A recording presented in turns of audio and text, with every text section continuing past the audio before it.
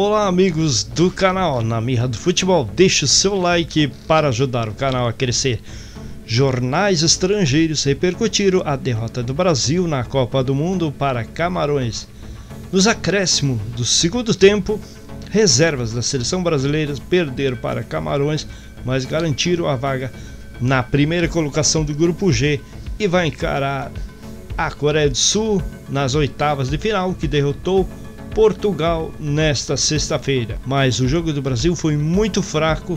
Daniel Alves não jogou nada, não só ele, né? tem muita gente ali. Gabriel Jesus não fez nada. A seleção brasileira encerrou a primeira fase da Copa do Mundo, derrotado por Camarões. No, o gol nos acréscimos. Aqui jornais repercutiram a derrota do Brasil jornal Olé, depois de pressionar e perder chances no primeiro tempo, a seleção tomou um gol de Aboubacar nos acréscimos. Outra surpresa, Brasil perde para Camarões, escreve o Diário Esportivo da Argentina.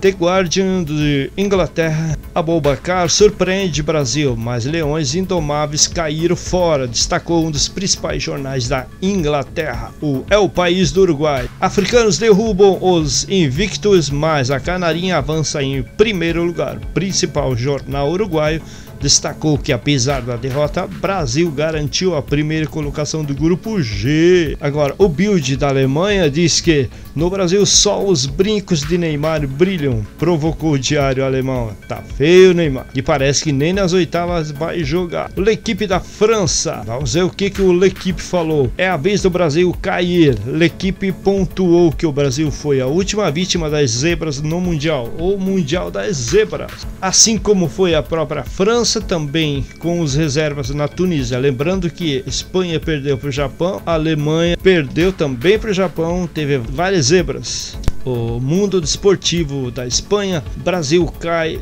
antes ao Camarões, que vale para terminar líder. Brasil cai de frente a Camarões, mas é o suficiente para terminar líder, escreveu o portal espanhol Mundo Desportivo. Mas vamos lá, segunda-feira, 16 horas, vamos lá pegar a Coreia e, se Deus quiser, vitória. Um abraço a todos, deixe o seu like para ajudar o canal a crescer.